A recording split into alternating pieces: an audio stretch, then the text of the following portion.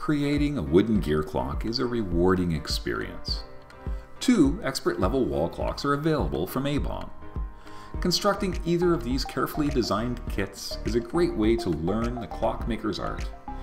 The parts are laser cut from select hardwoods and the very best grades of birch plywood. Clearly illustrated instructions guide the builder through each step in the clockmaking process. Building these clocks requires only patience, a few common tools, glue, and sandpaper. A series of videos demonstrating the building process and how to troubleshoot the clock are available to ensure success.